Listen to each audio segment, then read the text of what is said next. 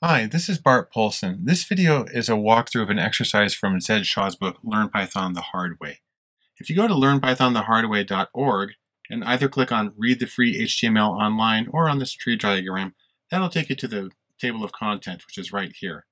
In this exercise, we're going to be doing number 8, which is called Printing Printing. And if you click on that, it'll take you to this page. And there's not much you have to do, but there's a few things I need to explain as we go through it. Basically, we're going to be using uh, variables. We're going to be using strings that have variables built into them and doing a few variations on it. And I'll explain what happens as we go through. I'm going to go to Text Wrangler. If you're on Windows PC, you'll probably be using Notepad++. And here's what I'm going to do now. I'm I'm uh, able to just have the stuff jump right in right here we're creating a variable called formatter. Now that's important because formatter sounds like it's going to be some sort of built-in magic function. It's a variable. And the variable is called formatter. Equals is the assigning oper the assignment operator. And it's getting a string that is composed just of these variable things. The, the percent sign R is a way of getting the raw data uh, or the technically the representation of something. And what's interesting about that, and the reason that he uses, is it can actually read any kind of data. It can read characters, it can read string, it can read floating points, it can read other variables. And so it makes it uh, very flexible. It is, however, not generally made for displaying data, but is used as a, Zed says, it works best as a debugging device. But um, it works well for this exercise, so we're going to go ahead and use it. The first thing is to do this, to use the function print, which means it's going to display it in the console either the terminal on a Mac or PowerShell on a Windows PC. And then it says print formatter. That's the name of the variable that we have right here. See, that's that's that one right there. And then this calls out the um, the variables because we have these little built-in things right here that we put into it. And what it says is replace those with the numbers 1, 2, 3, and 4.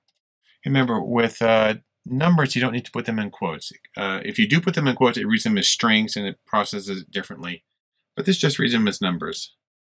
The next one, we do the same thing. We're going to print another line. Again, we're calling the string variable formatter that we defined above, except this time we're feeding into it the words 1, 2, 3, 4. You'll see that they have double quotes around them to indicate that they're strings. After that, we're going to use the uh, variable again, uh, formatter, except this time we're feeding into it uh, true and false, which are built-in keywords and that's why they don't have quotes around them because it actually recognizes them as Boolean values of, of true or false. And then um, we're going to do a funny one where we actually call on itself. We're going to call formatter on itself. And so it's going to be going back to fill in these, these uh, representation variables. It's going to go back to itself. And what you're going to find is that it actually reads this now as literal text as opposed to something to fill in. So it doesn't get into this sort of uh, infinite regress. And then finally, we're going to fill it in with a few strings. Uh, formatter, and then we're going to have the first one be I had this thing that you could type up right, but it didn't sing, so I said good night. And it's going to plug each of those in. By the way, it's split up into several lines, so the line doesn't go over 80 characters in a line, which is considered bad form in Python. Um, so that informs us. So I'm going to come over here. Uh, my working directory, I'm currently in my scripts directory, so that's good. I'm going to clear that out with Command K.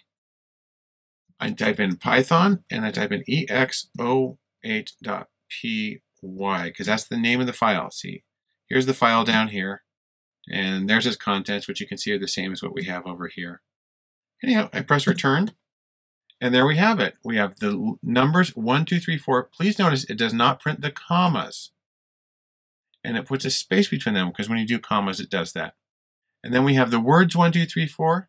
And please note, they now have single quotes around them, whereas we specify them with double quotes.